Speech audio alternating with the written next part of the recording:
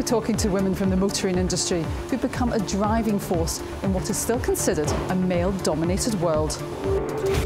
Tuning in to the connected customer, what motorists will want in the cars of the future.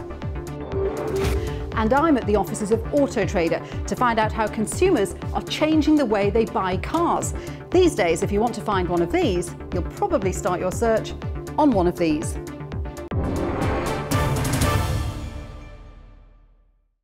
Hello and welcome to Driving Change, a series of four programmes where we report on challenges and opportunities in the motor industry and the changing ways in which customers buy and care for their cars. Relationships with customers are critically important, and in this programme, we look at who is synchronising with their customers and reaping the benefits.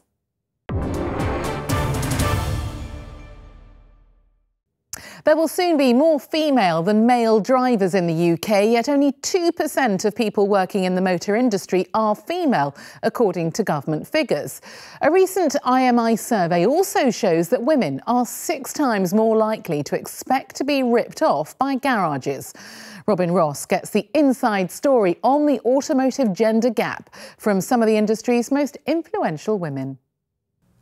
This is the usual sight when you visit a garage, but times are changing. Lois Lane is an apprentice mechanic. Before landing the role, she sent a CV to over 30 garages. She received just one reply. But recently, she passed a test with distinction. Lois doesn't need a Superman to fix her brakes. Us females are just as good as males.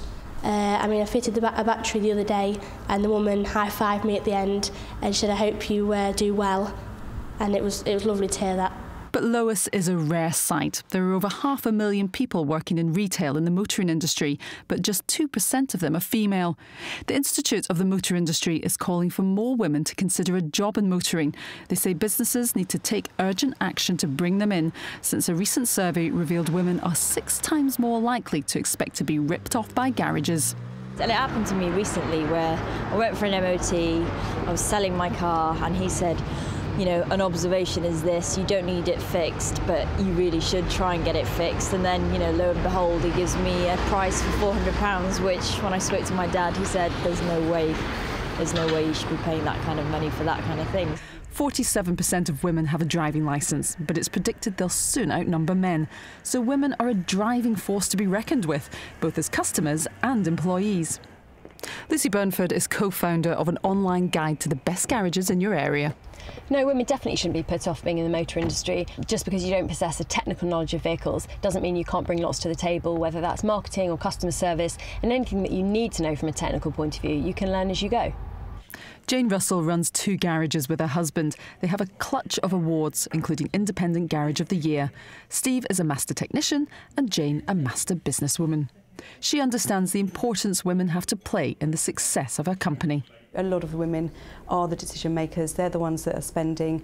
Um, e even if uh, you're talking with the husband, he'll always want to check with the wife that he can go ahead and, uh, you know, authorise a repair. So, you know, why would you not go straight to the woman in the first place? So this garage has been set up to be female friendly. We have a kiddie section here for children and we even have Poppy, the office dog. The industry has improved. 20 years ago, Annette Buckby desperately wanted to be a mechanic but was firmly told no. Today, she travels the country encouraging girls to consider a career in the motoring industry. They don't know a lot. I think it's really educating them to the fact that there's not just the one job, which is a technician. You can do other things such as a service advisor, IT, HR. The good one is the designer. Obviously, the Evoque was the interior was designed by Victoria Beckham, and that's a real puller. And then you get them talking, and they're then sort of realistically thinking, yeah, that could be an option. But there's a long road ahead. Only 6% of engineers are female, and there is still much resistance to employing women. Paul Killingsworth gave Lois her chance, and 75% of his customers are female. Paul believes garages should embrace their feminine side. It is a female industry, not just a male dominated industry. They'll look at a woman and think they can't lift. Um, we've proved it, we've got a wheel lift there, it's not expensive. We all work as a team. You're either as a team or you're on your own. So you certainly can't afford to ignore women in the motoring industry or any industry really. We're 50% of the population and we make up 50% of the decision making in any normal relationship. So I think that ignoring women, ignore them at your peril. And there's no way you can ignore Lois, especially with her achieving top results in her exams.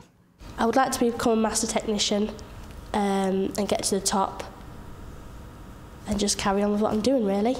Because you love it? Yeah, because I love it.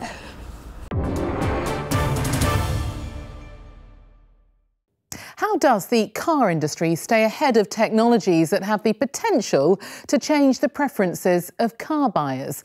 Well, understanding consumer attitudes and behaviour is critical to planning for the future. And that's where leading global research firms like GfK are providing critical insights into the connected consumer, as Donna Bernard reports.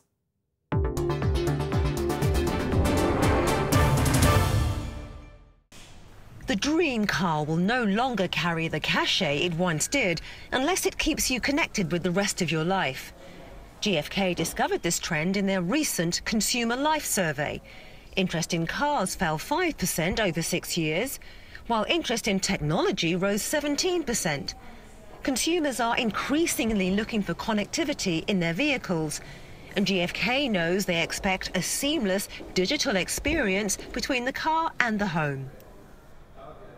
The way GfK works is very international. We have a lot of offices all over the world in I believe, more than 100 countries with 13,000 employees. So we like to work together, providing with the client the best output we can. We're going beyond, you know, the car being a separate entity altogether, which is traditionally how it's been. We're now actually seeing, you know, cloud access in vehicles. You know, in the future, we could very likely see your car telling you that your fridge has told it that you've run out of milk and you need to pick up some milk on the way home. It's a growing challenge for car manufacturers. They're seeing new players in the market like Apple and Google. Smart technology is going to change the way we look at our cars. It's not just a case of getting from A to B, but seeing them as an extension of our homes. Self parking, for example, is already available in the BMW 7 Series.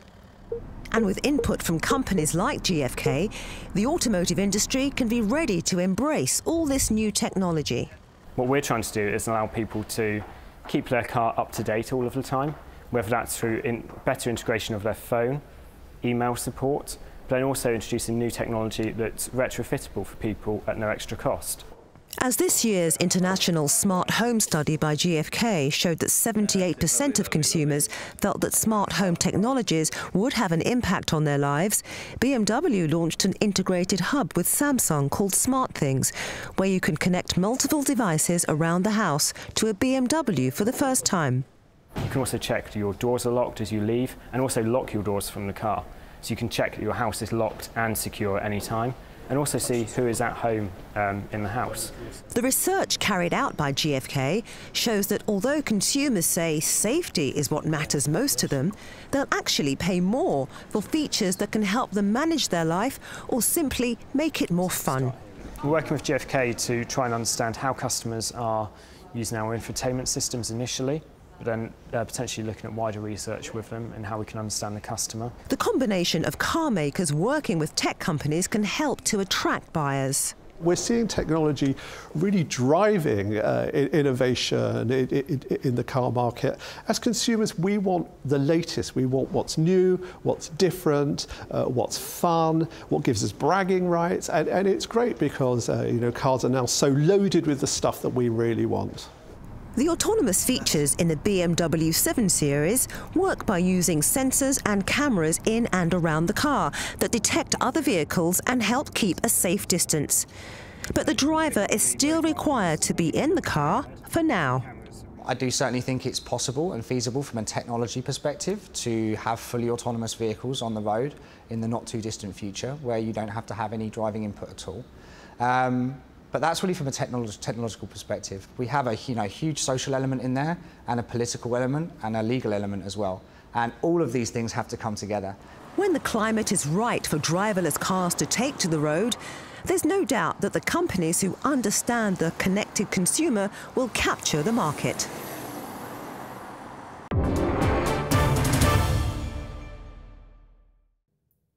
Now, the last time you bought a car, chances are you didn't walk into a forecourt as your first port of call. Increasingly, car buyers are choosing to start their search online. Websites like Autotrader make the job easy, but as Shuli Ghosh explains, retailers and manufacturers need to adapt if they don't want to be left behind.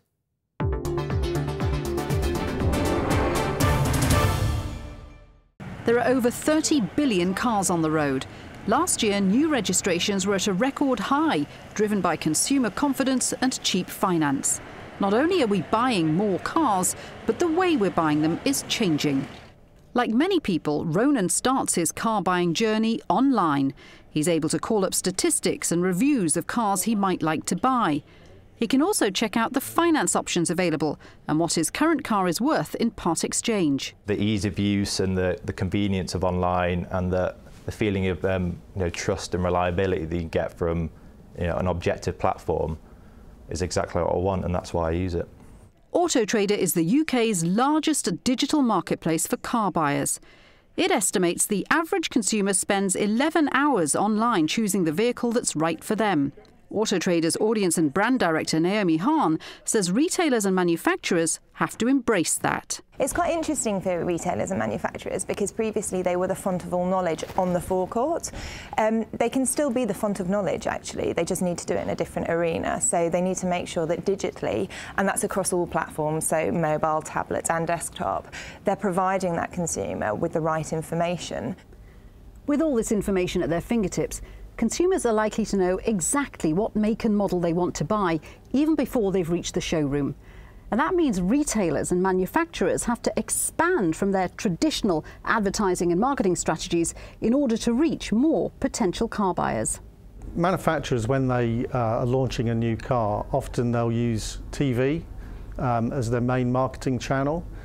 We would like to see them using the internet as a companion to that activity because using the internet they can be much more targeted in their approach and they can really connect with the right consumers at the right time in their buying journey uh, in the right medium. Okay, so if I was to press on the A3. And the digital experience can't stop online. Dealers need to adapt to new technologies to ensure customers like Ronan have a seamless transition from their online search to their offline purchase. I'll be honest, I'm, I'm really impressed. It's not really what I expected. It's not really my, really my vision of um, car dealerships. I feel like it's kind of taken the best parts of the online experience and you know, given it a personal, a human touch. Audi's head of PR, John Zammit, says some parts of the motor industry have been too slow to adapt, and that's hurting business. You don't want two standards of convenience where it's been very easy sitting in your lounge at home with your laptop, and then you come into the the dealership uh, or the retail environment and uh, it's not slick and it's not easy and it's not doesn't feel comfortable. In the olden days, it was very easy to just have a guy with a pencil, you know, and saying what colour do you want and so on. We're way beyond that now because there's so many detailed spec choices that you have to make in a car. Autotrader says 80% of car buyers find their cars online, and dealers should be using data to make better decisions on how to target them. Data is all about identifying what cars they should be stocking, what price they should be stocking them at, and then identifying cars that just aren't going to shift so they can replace that stock with stuff that is going to be sold on to the local car buyer. The likes of John Lewis and Next have been doing this for years on the high street. They have huge data departments and they use tools and technology to enable them to predict what products they should have when in order to maximise profits. Car buying has never been more competitive and it's clear that internet technology has put the customer firmly in the driving seat.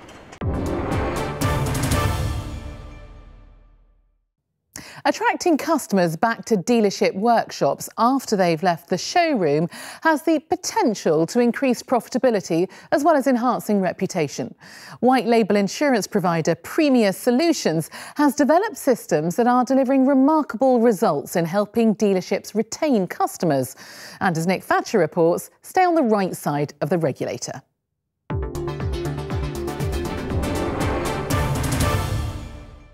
Sean and Tandy Cuffley drive a Mercedes C-Class, but within weeks of buying their car, they'd scuffed two of the wheels. Fortunately, they'd also bought Premia Solutions insurance policies from their dealer to cover them for this kind of accident.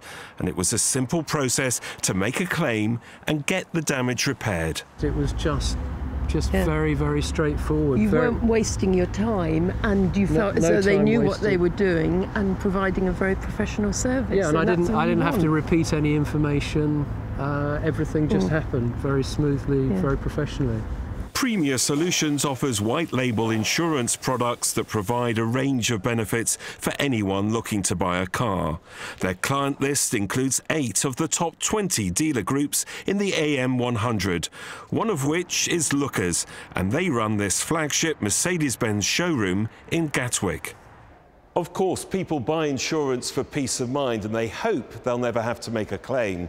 So in order to meet the high expectations of today's customers, Premia Solutions aims to make their claims experience quick, simple and painless. Significant investment in technology has helped make that experience as seamless as possible. From point of claim and assessment to instructing the repairer, who's often the dealer the policy was bought from. This is Jamie from Mercedes Gatwick, just calling to arrange your alloy wheel refurbishment. And all with the aim of completing repairs as efficiently as possible. Today's customers really take the quality of repair as a given, and what they're actually really focused on is that quality of experience of making the claim. So we can really improve and enhance that experience by making it very easy for us to communicate with the customers, but also make it really easy for the dealer to communicate with the customer to get that repair facilitated. That's really important for the customer's journey and the customer's experience of the claim. Well, this particular dealership has been around for two years. It's quite new, relatively new. David Curran is a divisional sales director for Lookers Mercedes-Benz here in the southeast. And he told me that insurance products from Premia Solutions also act as a powerful tool for the dealership to build customer loyalty. If customers come to us with a claim, the most important thing is how quickly it's dealt with. Premia offer a great um, process that allow us to sort that out for the customer almost immediately. And of course, happy customers mean returning customers. Correct. One thing that uh, is very important is that Premia share our values, and Lookers' values are customers for life, which means that we are heavily focused on customer retention, and Premia are a great partner in doing that with us. And then what we can then do is look at um, what is actually coming back into the site. So, you know, how many customers are actually coming back in to have the repairs carried out. But customer loyalty is only half the story. Premia Solutions can also support a dealership to develop its finance and insurance business, with comprehensive management information available at the click of a mouse with their online dashboard. We support businesses like this to drive their F&I program through training, systems and processes and ensuring they have the appropriate products for their customers as well. However, we can't do that unless we have the correct management support from the dealership. In addition to that, we see compliance as a great opportunity and not an obstacle uh, to develop the skill set of the sales team, ensuring that they deliver the products to allow the customer to make an informed choice. Customer retention and loyalty is crucial to any car dealership, and having bespoke insurance services like these can not only extend a brand, but also give an opportunity to grow business, increase income, and offer better service.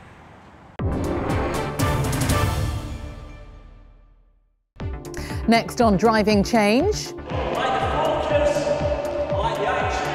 Team spirit, how being a part of the community is fueling business success. Customers for life, the aim of a warranty scheme endorsed by a racing legend.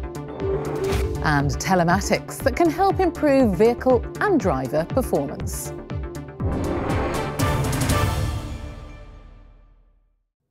Now, being the biggest is the aim for many businesses, but for one of the country's most successful motor retailers, the aim has only ever been to just be the best.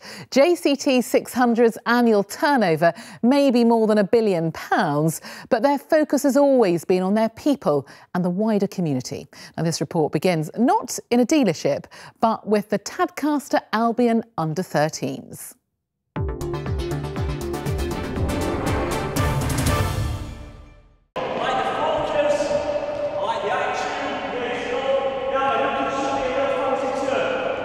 Professional football training for a youth team, all thanks to the company that sponsors them both. JCT 600 began with a small petrol station 70 years ago. After diversifying into selling cars, the business now has more than £1 billion in turnover. The company says it's important the community also shares in its success, and this team are reaping the benefits. What do you think of the fact that JCT 600 sponsors you? Uh, well, it's good because they give us kits and like opportunities like this because they sponsor professional football teams and us and it gives us privileges that other teams don't have. So your, your family yeah. like the company as well? Because my mum and dad have both got cars off JCT 600 and then my auntie and uncle have as well. Is that because they sponsor you? Probably. JCT 600 employees can recommend charitable ventures and this team has been sponsored since it was under sevens. Their coach Andy Bateman, who is head of operations, is delighted his company agreed to invest in the team his son plays in. Usually it's, it's some sort of family connection or something they do outside of work that's important to them that they volunteer in. Um, and really if it's important to one of our colleagues then it's important to the company. You do feel proud of, of the brand and what it does uh, and that it's more than just somewhere to come and work. As well as professional clubs like Bradford City, JCT 600 sponsors more than 40 local sports clubs like Tadcaster Albion Under 13s. The aim is to give something back to the community. It's an ethos that underpins the business and is why many employees say they chose to work for them. When Kirsty wanted to start a family, she didn't want to choose between her home life and her career. She says JCT 600, as well as supporting her to get her professional accountancy qualifications, then continued her development even after she decided to work part time. It's allowed me to give my best at work um, and also give my best at home as a mum, and I'm really, really grateful for that. Um, but it's also allowed me to continue my development with the company, and it's just been win-win all round. JCT 600's name is another symbol of its success, taken from a personalised car registration plate for the founder Jack Tordoff. In it, he won the Circuit of Ireland Rally in 1973. Four generations of the family are now involved in the company. The current chief executive says their values, which are exemplified by the slogan, trusted by the world's best manufacturers, are the business's most important asset. As an industry, we're really good at taking, people, uh, taking money off people. Um, and I think one thing that we could all learn from is actually putting something back into the community. So we, that's one of the principal reasons why we work hard at doing so. We support people in the community by getting involved in, in all sorts of projects. It's not just sporting initiatives. And it's something that we're really proud of. Along with the philanthropic nature of the business, supporting a range of charitable events from breast cancer to a donkey sanctuary, the company was also instrumental in helping support the campaign to bring the Tour de France to Yorkshire. It was such a success the Tour de Yorkshire is now an annual event. And its roots are very entwined here. And I think people now there is a flight back to not just quality, but authenticity as well and genuine values. And this organisation, JCT 600, represents just that. All this has contributed to JCT 600 making the Sunday Times Best 100 Companies to Work For list. As these children are among those sharing in its success, they may wish to continue it in the future as customers or perhaps even employees.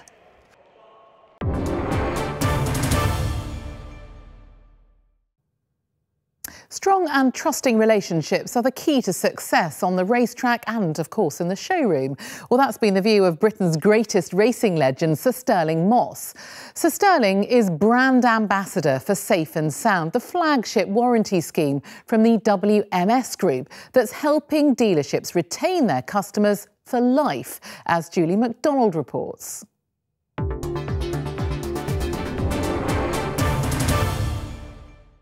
Almost seven and a half million used cars are bought by car hungry Brits every year in the UK. It's a major life event for most people, and when things go wrong, it can be devastating. Fortunately, I wasn't in the car with my children, I was on my own.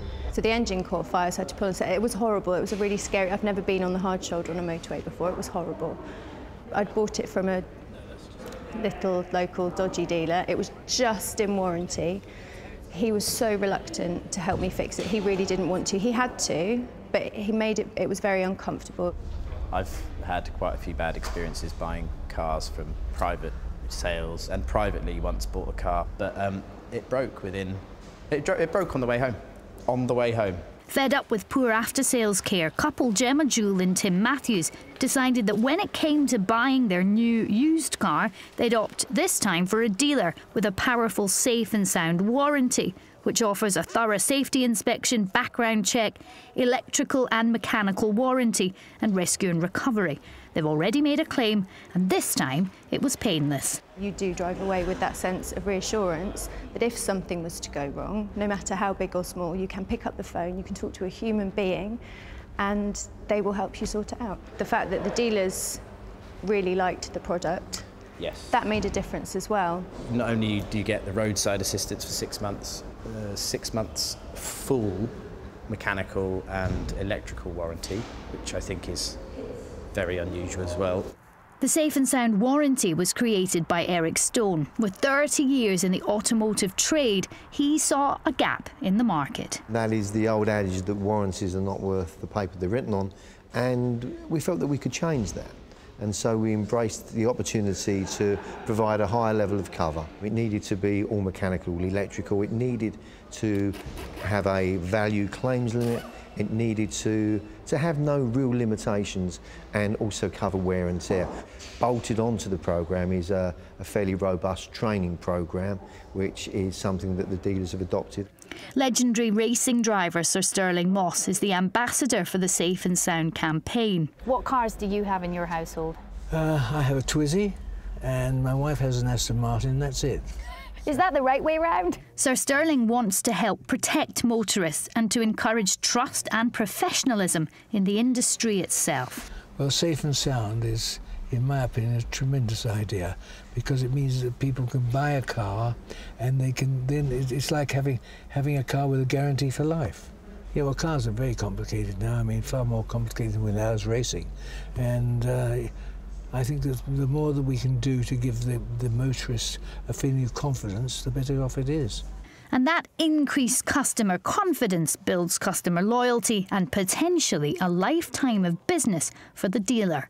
Derek McQueen runs this car dealership in Aldershot, where his staff are trained in how to deliver the safe and sound product, which is regulated by the FCA. Good afternoon, chaps. I'm Simon from WMS. When you're selling warranties, A, the people selling them need to be confident in them. That's a big thing in our industry. Um, and that goes back in time where people had to sell warranties and what was the real level of cover. It was almost you do it because you have to do it. So our staff are very confident in warranties they sell. It can be quite a painless experience for the customer and that just breeds retention. So too does the My Motor Manager app, which comes with this innovative warranty. The dealer can let the customer know when it's time for a service or an MOT. And Eric's hope is that Safe and Sound will continue to be taken up by dealers across Britain and help to change perceptions of the used car industry, benefiting customers and the dealers who want them to keep coming back.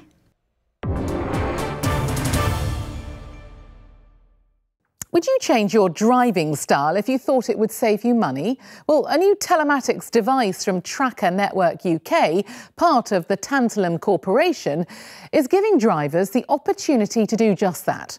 Carolyn Sim went to see how dealerships can use data to become connected to their customers and help improve the performance of the driver and the vehicle.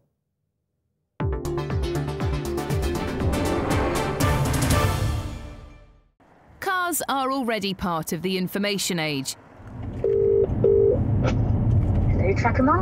SatNav and Bluetooth systems keep people connected while they're on the road. But telematics experts Tracker are taking that connectivity a step further. They're already one of the market leaders in tracking and locating stolen vehicles, but their next generation of products will allow drivers to connect with their cars like never before. This is the Tracker Pulse device, which plugs into the same port that car mechanics use when you break down.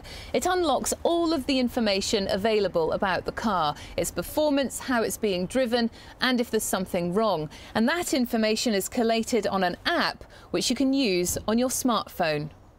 The Tracker Pulse app gives drivers a rating. If they're braking hard or accelerating quickly, they'll see how much fuel was wasted. It checks the health of the vehicle. If it's involved in an accident, it gives a damage report. And if it breaks down, it tells the breakdown provider exactly where the car is. The information on the app can be shared with insurance companies to potentially reduce premiums. And for families, it could take the pressure out of car sharing. Well, it can help because the data gathered from the collection unit will, will, will tell you how they've been driving. So if they've been driving um, very aggressively um, and quickly, and going around corners quickly and, and all of that stuff, all that information is going to be gathered and you're going to see a real distinct difference between those two people's driver score. Tracker's new system is already being used by fleet owners. They're now offering car dealerships the chance to sell it to individuals too. Part of our journey is to connect the car with the person. That's the first part of our journey and the Tracker Pulse enables that to happen very much. The second part of our journey is to connect the car with the person and with the home or the business. And that's the journey now that we're on. And that's where I think um, working with, with uh, manufacturers and dealerships, that second part of that journey can be um, actually realised. Because although the benefit can be presented to the consumer at one end, it can be presented to the manufacturer or the dealership at the other end. This is going to allow them to talk to their customers in a completely different way and with the accuracy of the data, it's going to really um, reduce the amount of service leakage that that dealership experiences because they're going to know when vehicles are due for service, they're going to know when there's engine warning lights and there's problems, um, and they're going to know the cost of that repair so that they can phone the customer up and give them that information.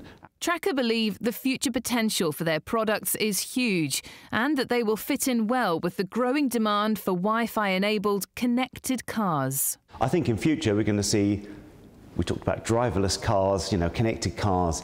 We're going to have driving trains on the motorway. And I think this is all to the good because it's going to make driving safer. And of course, if you have connected cars, you also have cars that uh, are performing more efficiently. For dealers, Tracker Pulse is about building long term relationships with customers.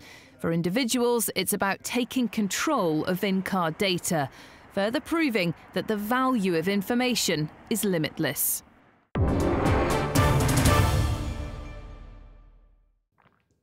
Well, that's all in this programme, but be sure to watch the three other programmes on business opportunities, powering the future and innovation. All four Driving Change programmes can be viewed on the IMI website. Thank you for watching. Goodbye.